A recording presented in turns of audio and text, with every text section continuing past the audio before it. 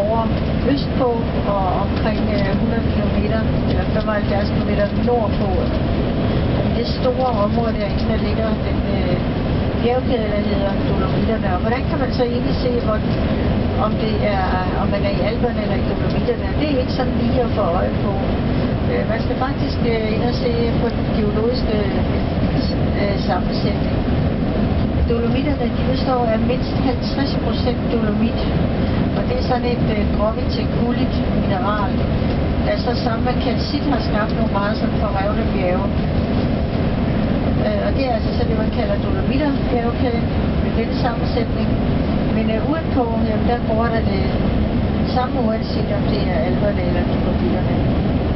Men øh, indenfor her, i det her store dolomit, område, der kan man jo se sådan nogle meget særegne, naturlige slags, ligner næsten pyramider, nogle store kejler af sandsten, øh, hver med en klippeblok på toppen, og det her øh, imponerende naturfænomen, det er altså et resultat af århundreders erosion.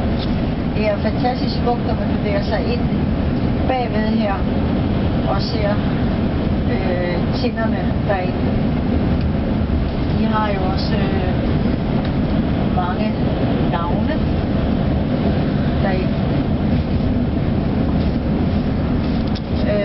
que hasta